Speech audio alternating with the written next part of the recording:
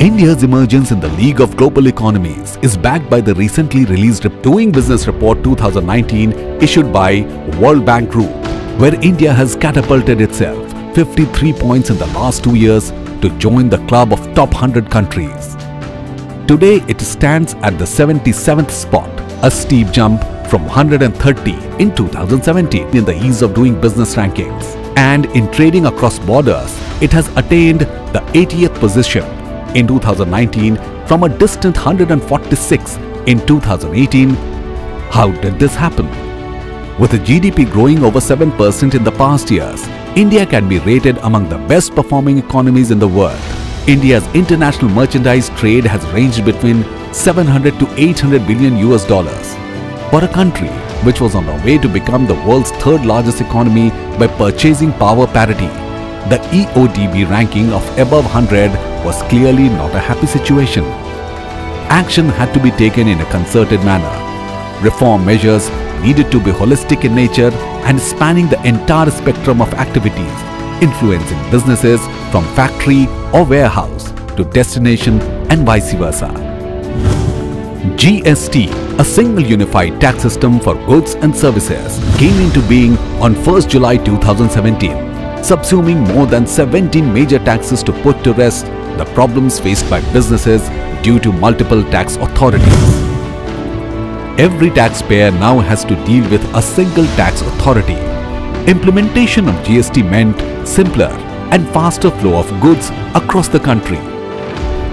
A single document, the e-way bill has been adopted, replacing multiple forms and permits for a country-wide movement of goods for both inter and intra-state trade from 16th June 2018. Secondly, customs clearances presented complex challenges of a different nature.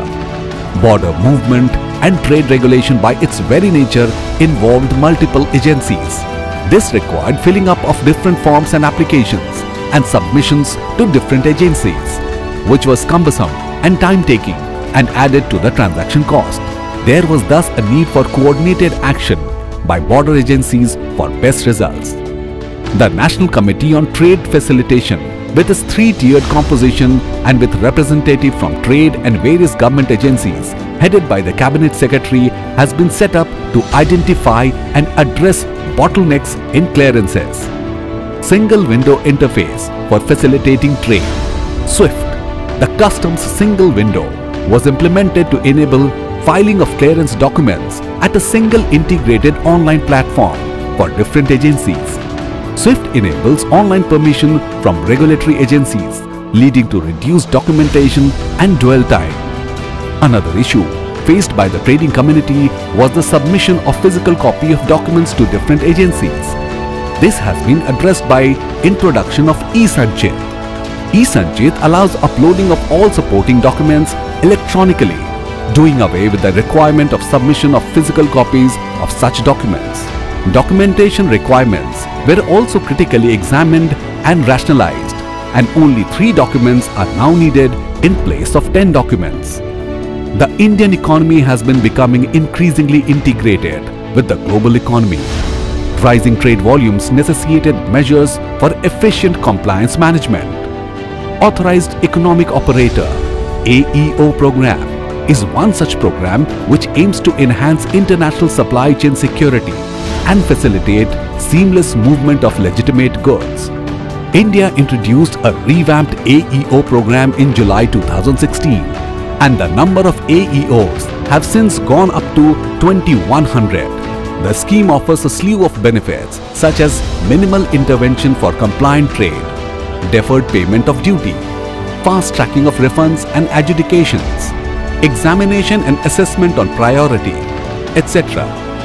From 30th November 2018, an online AEO portal has been launched for receipt of application and delivery of certification.